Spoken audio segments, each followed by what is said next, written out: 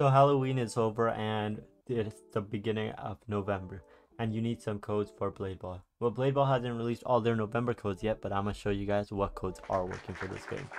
So to enter codes, you go to iShop here, you press codes, and you can redeem your codes here.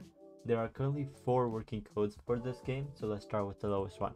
1 billion visits thanks. This code will give you a custom weapon that if you go here, we go to swords, it will give you the 1 billion sword right here. The next code would be Halloween. All caps like that. Once you enter this code, it will give you a pumpkin blade. So you want to go here again and this would be the pumpkin blade right here. The next code that I'm going to show you guys will be a wheel spin code. So you want to go 3 mil likes like that. This one will give you a wheel spin for this one right here and you can just spin it to hopefully get rapture or crescendo. Now, before I tell you guys the final code, join our Discord in the description below. We are doing a Blade Ball Battle Pass giveaway. It's either going to be ended for this Battle Pass or hopefully next one if it comes. If it's not, then I'm going to be giving the winner a weapon if there is no Battle Pass for the next season.